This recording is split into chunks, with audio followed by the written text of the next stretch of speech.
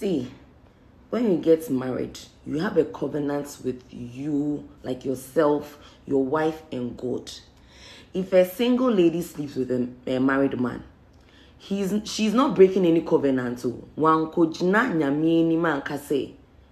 I will be by my wife through thick and thin. I don't have any covenants with any person. Mama now you have covenants with your wife and with God. Now you feel you will break it. You will face your own wrath. Mm. Mo mo mo na mo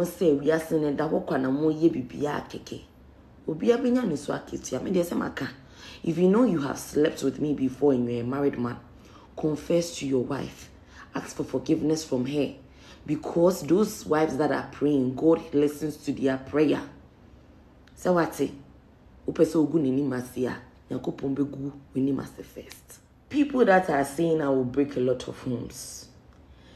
If this that I'm doing will break your marital home, then it was already broken. It is just being put together by sellotape. I sellotape, this is sellotape no wabre wagye ne ho.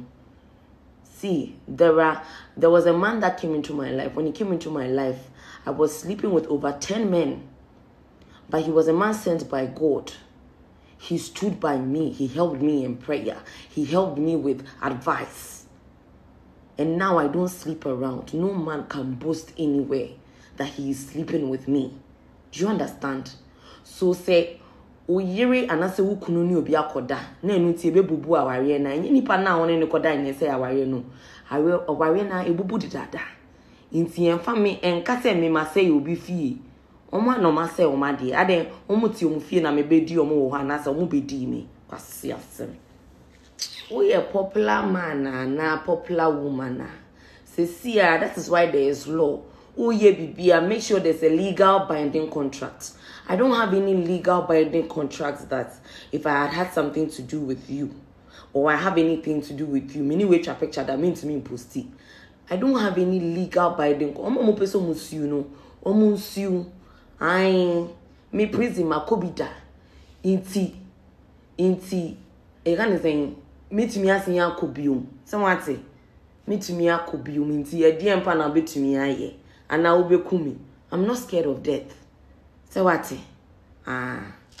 Mo na musuro prison ne ewuo ne gunshot ne me me ni tuo me ni hwee all i have is god and my bible and my mouth to pray.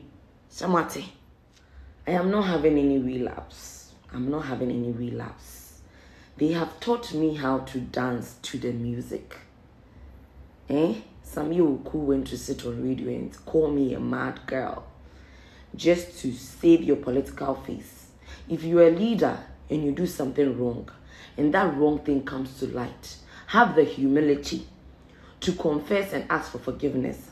But if you want to throw your weight about, throw it send your men. Also, you will let people come and kill me. Send them. I'm not afraid of death.